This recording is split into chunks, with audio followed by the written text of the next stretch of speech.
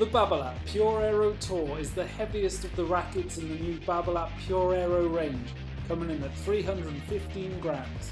Babolat sticks to its aero modular technology and has new grommets which sit inside the frame to make it even more aerodynamic. The extra weight on this racket was really good off the ground. It really ploughed through the ball and gave you great stability on every shot. Off serves you could create a lot of spin as the tip of the racket was really heavy and came through the ball, creating extra weight of shot and spin. The Aero Pro range was always very forgiving and the Pure Aero is no different. The sweet spot's very big and very accessible with off-centre hits going with a lot of pop and power as well. As long as you could control the racket head with the extra weight in it, volume with this frame was very good and precise.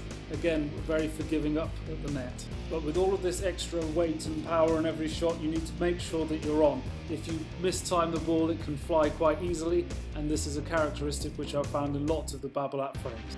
For me, this is a great update to the Aero Pro, even though it's called the Pure Aero, and this tour is a welcome addition to the line. It's definitely my favourite, it gives the most versatility and power on every shot. Just make sure you're in position and the racket will do the rest. They're available to demo at stringersworld.com.